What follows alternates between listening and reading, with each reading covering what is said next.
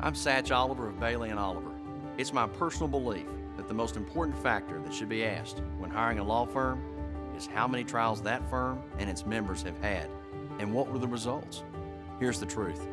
Insurance companies know which firms go to trial and which firms just take the last best offer. Insurance companies know who we are. Call us or visit our website to learn more about our firm. Bailey and Oliver, justice for you.